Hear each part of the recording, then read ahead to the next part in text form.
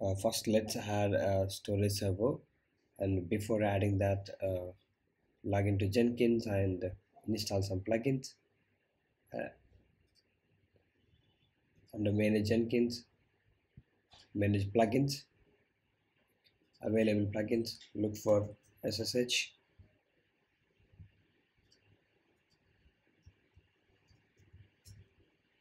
and then uh, look for git and pipeline. We need credentials plugin to store credentials so check this one. Check this box. Check this box. So it's going to install all the all the plugins we just checked in. So meanwhile uh, we can log into storage server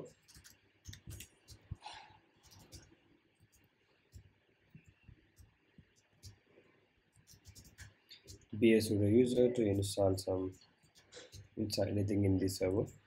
So in order to run jenkins we need to have java in it. So if i do java hyphen version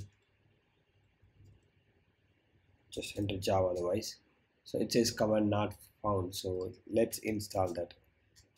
Yum install java hyphen 17 hyphen open jdk just why so this command is going to install java in it.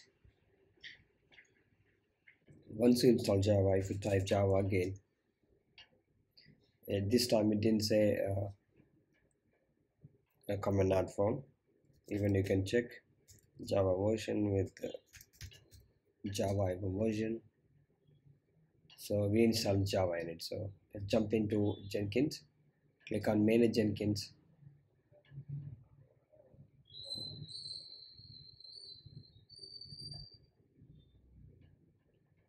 click on credentials.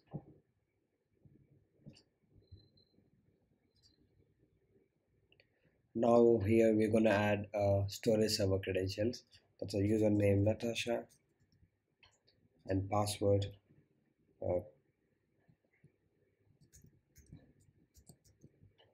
and I'm gonna identify this as Natasha then create. Then manage Jenkins again uh, click on manage nodes add an add new node. Uh, node name uh, should be as for the task storage server with uh, both capital S click on permanent. And we need to use slash var www slash html and we're going to label it as ststor01 launch agent via SSH we can choose only build jobs with labels. And then ststor01 this is the host name for storage server. And uh, we're going to use credentials we just created. And here you can click on manually trusted verification key strategy or non-verifying. So I'm gonna go with manually trusted key verification strategy and save. Click on storage server again if I click on launch agents I know I'm gonna get, get an error.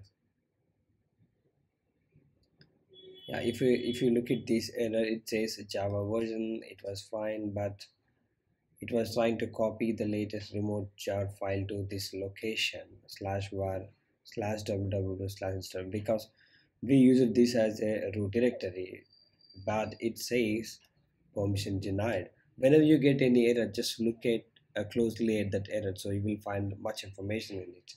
So it says the user doesn't have sufficient permissions on this directory. So if you jump back to this directory then if I do uh, get into that var www if I do ls if I do ls l I can see that this directory is owned by Saraha so we are connecting uh, connecting to that uh, storage server is Natasha so just change the ownership permission for this directory chown and recursively then change it to Natasha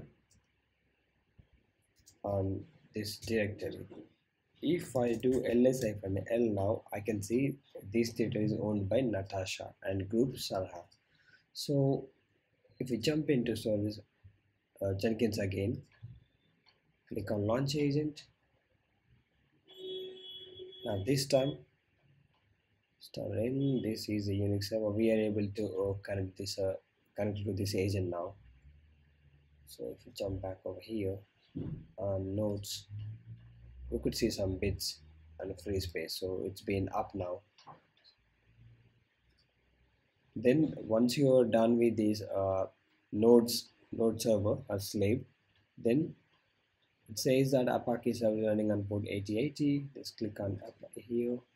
So that looks fine. Now jump into this directory do ls.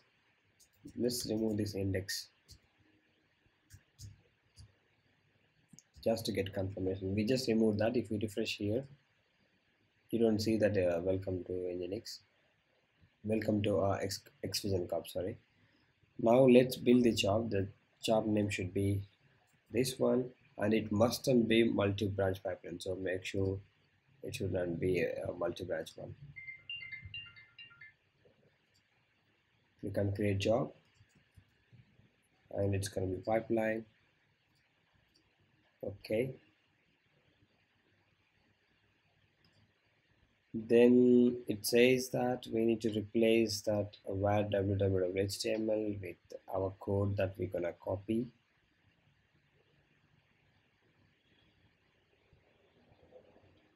Click on git here and uh, log in with the credentials. I already did and uh, I do have this URL so let's do that again. That's fine. Then jump into your job again. Scroll down and uh, it says pipeline script already made the script so here just you just need to change this uh, repository. Once you log into that git here you can you can get that uh, repo URL and this one is fine with that so you don't need to change it. Except this you don't need to change.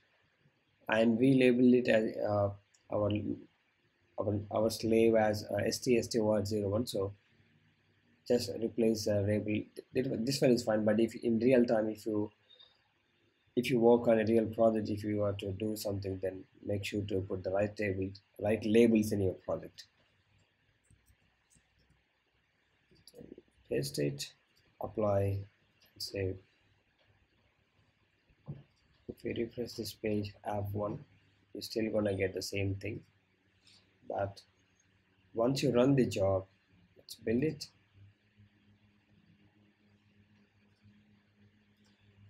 then you're gonna get that welcome to xFusion Corp something.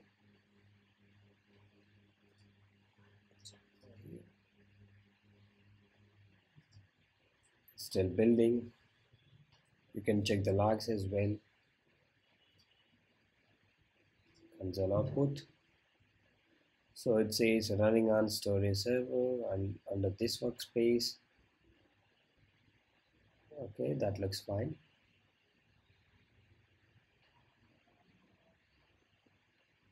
It says no such directory test job. Okay okay okay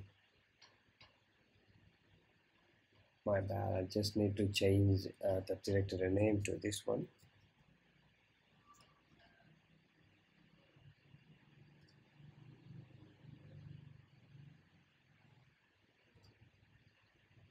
Configure pipeline and uh, just change this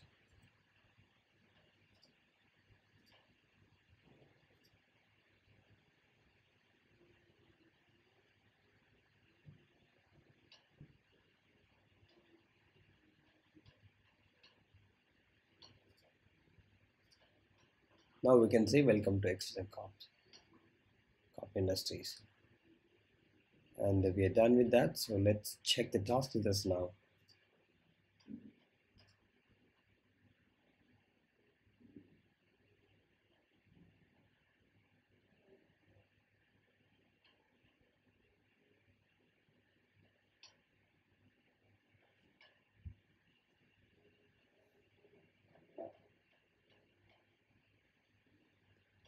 it's been successful. Thank you for